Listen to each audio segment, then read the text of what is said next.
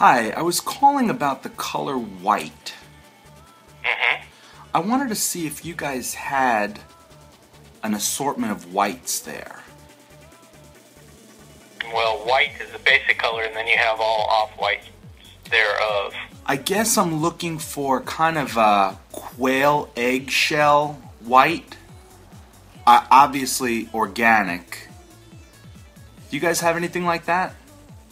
We have probably a hundred different off-whites. Anything with quail egg? Nothing off the top of my head. Anything like, I guess, uh, ostrich egg, like a speckled ostrich egg? A you want a speckle in it? Yeah, like uh, salt and peppery, kosher salt and peppery. Something that somebody would have to make something like that. That's, you, you're not gonna have a paint that's gonna do that. All right. What about like a Dorian gray, like a sky gray, like a Monday gray? You really have to come in and look at all of our colors. We've got about three or four thousand different colors here. All right. Well, I'll be in there in the next little bit. I'm wondering if it's possible to paint little swatches onto a set of overalls I have. This way I can come and stand in the room that I want to paint. Who am I talking to? What'd you catch on? Um, You still haven't figured out who this was yet? Man. Huh? Not yet, but it's getting closer. Oh, really?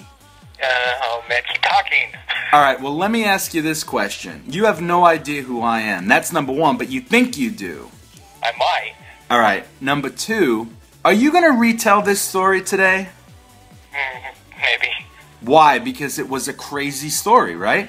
Right. But not too far fetched. No, some of the requests we get. Exactly. All right, well, thanks for playing along. I think that you did a you were a great sport and you need a raise. Me too. All right, well, enjoy your evening. Me too. Exactly. Everybody wants to play this game. Dorian Gray. That's a real color, you know.